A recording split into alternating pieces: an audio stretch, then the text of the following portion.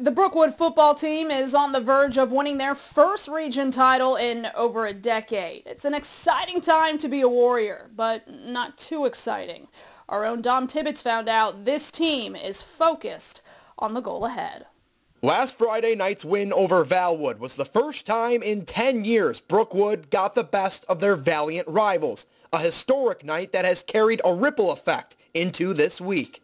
It was a great win. Uh, certainly went down the last play, and we, we, we made plays in all three phases to, you know, to set up that opportunity for the big win. And, and our guys came out yesterday and, and obviously are very excited about the, the, the challenge this week and the opportunity we have this week.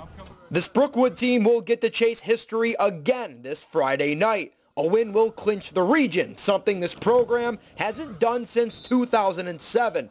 Most of the players on this team could hardly hold a football back then but they understand how monumental an accomplishment like this would be for the Warriors community. Well, it just mean everything because we just hadn't won it in so long, and finally being a part of that. Like when I when we won it in 2007, I was in pre-K. I was so small, and I don't even remember it. And being a part of that now is just awesome.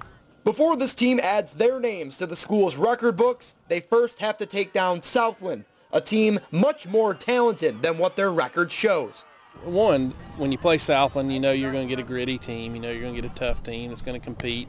Certainly, we're not going to overlook them. You mentioned, you know, that kind of thing, and I would just say this: I mean, they're five plays away from being seven and two. I mean, they're going to fight this week for sure. They're going, they're a really good, they're a good team. I'm not going to put them down, even though they don't have their best record. They, they beat teams that we beat and competed with, and it's just going to be a really good game, like it is every single year.